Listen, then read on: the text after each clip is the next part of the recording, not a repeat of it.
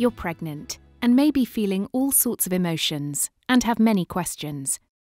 This video series provides some basic information about prenatal genetic testing to help you make decisions based on what matters most to you. Most babies are born healthy, while some babies are born with health problems, which can have many different causes. Chromosomal conditions are one cause of health problems and most often occur by chance. They usually do not run in families and they are not caused by anything a woman does or does not do before or during pregnancy. It is possible to find out about some chromosomal conditions before your baby is born, and the results of testing may help you and your family plan, prepare, and discuss options for pregnancy management with your healthcare provider. However, no test can guarantee a healthy baby.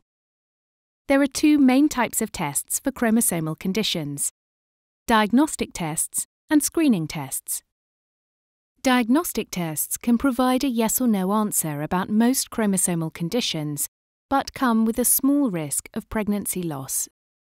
Diagnostic tests can also be performed after delivery, usually on a sample of blood from the baby.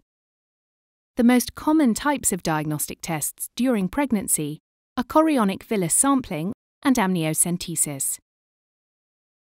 Screening tests give information about the most common chromosomal conditions, but not all chromosomal conditions. A screening test can tell you if your pregnancy is more or less likely to have certain common chromosomal conditions, but it will not give you a definite answer. If a screening result shows an increased likelihood of a chromosomal condition, follow up, including a diagnostic test, should be offered. Types of screening tests include non invasive prenatal testing, or NIPT, also known as cell free DNA screening, first trimester screening, also known as the first trimester combined test, second trimester screening, and ultrasound. Screening tests do not have a risk of pregnancy loss. NIPT is more accurate than other screening tests.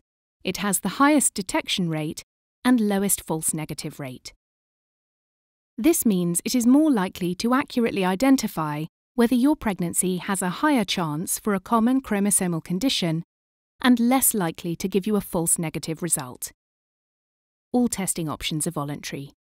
You may choose to have testing, or you may decline all options. In case you still have questions, speak with your healthcare provider about what matters most to you.